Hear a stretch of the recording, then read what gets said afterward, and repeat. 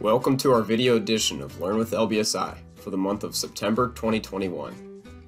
For this month, we are going to review how to utilize the approval process feature that is found within SAP Business One.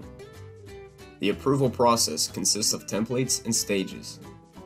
Approval templates are used to determine which users will need to get approval on specific documents, while approval stages are used to specify which users can approve the specified transaction. This will be beneficial for making sure the correct transactions get entered into your system. To begin, let's navigate to Administration, System Initialization, and General Settings to go over the settings to enable the approval process. In the General Settings window, and under the BP tab, there will be a section titled Approval Process. This is where all the settings will appear for the approval process feature. In order to use the approval process feature, you will need to make sure that the Enable Approval Process checkbox is checked. If you would like to utilize the approval process through programs that utilize the Data Interface API, otherwise known as DI API, you will need to check the Enable Approval Process in DI checkbox. We will go over the rest of the approval process settings as we go through the approval process feature. With the initial settings out of the way, Let's navigate to Administration, Approval Process, Approval Templates to demonstrate how to set up an approval process. As previously mentioned, approval templates are used to set up which users will need to receive an approval before their document can be added. You can designate a name and description to the approval template in the corresponding fields. In order to use this approval process, you will need to make sure that you have the active checkbox checked. If you would like the approval process to trigger when updating documents that were not generated after being approved, then you can check the next checkbox. This will cause any updates to pending or approved documents to go back through the approval process and will require approval again. The first tab on the Approval Templates window is the Originator tab. This is where you can choose which users need approval for this specific approval process. The next tab over is the Documents tab, here you will be able to select which documents are part of this particular approval template. Any document selected will need approval prior to the document being fully added. Let's move on now to the Stages tab. This is where you can add an approval stage to your template. Approval stages are where you can set up the authorizers for the approval template. In the Approval Stages setup window, you can designate a name and description to your approval stage in the corresponding fields.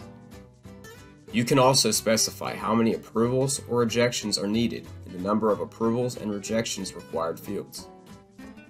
Whichever number you enter into either field, that is how many authorizers will be needed to approve or reject the document that goes through the approval process. In the authorizer table, this is where you can select which users can approve the documents that go through the corresponding approval template. Now that the approval stage has been added to the approval template, Let's move on to the Terms tab. This is where you can designate a certain criteria that must be met in order to trigger the approval process. Towards the top of the tab are the launch approval options. You can choose to have the approval process always activate when a specified document is added, or you can select the When the Following Applies radio button. If you select the When the Following Applies radio button, a table will appear where you can choose when the approval process will activate. You can specify the activation criteria based on the quantity, item code, total, and the document total. After choosing which terms the approval process will look at, you can specify when the approval process will activate by selecting a value in the ratio dropdown. Finally, the value field is where you can enter the specific value you want the approval process to take into consideration when activating. For example, if I select the total document with ratio of greater than and a value of $250, any purchase request with a document total greater than 250 will go through the approval process and thus require approval from an authorizer before being fully added. You can also add custom queries to the approval template that can determine when the approval process will be triggered. Now that the approval template and stage have been set up, let's go through the process of how the approval process flows. While logged in as the originator, I will add a purchase request that contains a document total larger than $250 in order to trigger the approval process. After clicking the Add button, a request for document generation window will appear, mentioning that generating this document requires approval from other users. The screen will also display which approval template was triggered and will give the user the ability to enter in some remarks about why the document should be approved. Once the user clicks OK, the authorizer will receive a message that contains the request for approval in their Messages slash Alerts overview window. When the authorizer selects the message, they will see the remarks that were typed in, as well as the document that was requested for approval. Under the Request for Document Approval section, the authorizer can click on the golden arrow to be taken to the Request for Generation approval window. From there, the authorizer will see the information about the document being requested and can view the draft document by clicking on the golden arrow next to either the document draft number or the draft key. If you would like the originator or authorizer to be able to update the draft document, you will need to make sure that the corresponding checkboxes on the General Settings window are checked. After the draft document has been reviewed, in the Decision field, the authorizer can select if the document has been approved, still pending, or rejected. They can also specify why the decision was made by entering in a response in the Remarks field.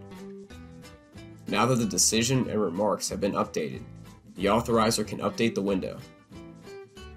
Back on the originator side, once the document has been approved or rejected, they will receive a message in their Messages slash Alerts overview window stating if the document was approved or not. That message will contain the draft document where they can click on the golden arrow and add the draft document if the draft has been approved. The approval process feature also contains two reports that you can use to see which documents need approved, as well as the ability to approve documents from some of the reports.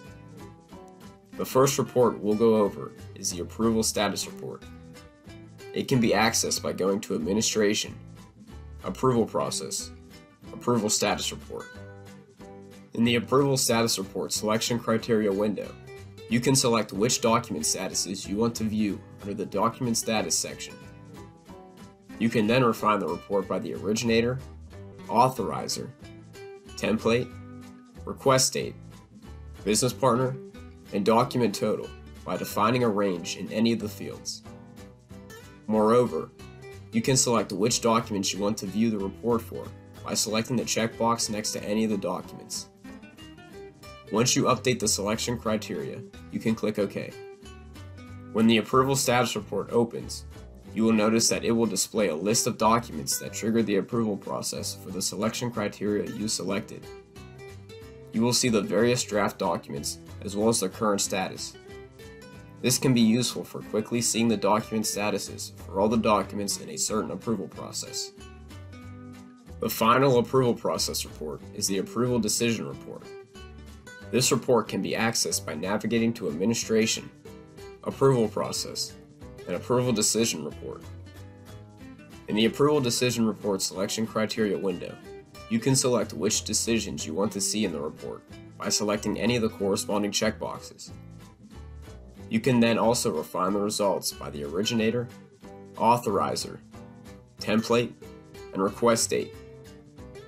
Once you update the selection criteria and click OK, the Approval Decision Report will appear. This report, like the previous report, will display the documents that went through an approval process. However, the difference here is that you will be able to adjust the decision of the draft document from this report. In the answer column, you will be able to select a decision and provide remarks for why you chose the decision. After doing so, you can update the window to save your changes. If a document has already been added, you will see that the answer column is grayed out and that there is a document number in the document number field. If a document has been rejected, the line will appear red, however, you will still be able to change your decision if you decide the document should no longer be rejected. This month's tip of the day is helpful if you need to hide or add fields to your marketing documents.